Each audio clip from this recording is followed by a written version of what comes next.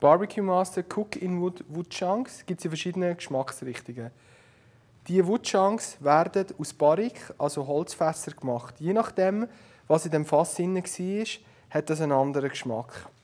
Die können Sie nachher direkt über die Glut drauf tun, zum Räuchern. Sie werden zwei bis drei Stunden vor dem Drauflegen in Wasser eingeweicht. Wenn Sie sie nachträglich noch rein tun können Sie sie über unseren Chipfeeder in den Grill einführen und über die Kohle ausdrehen.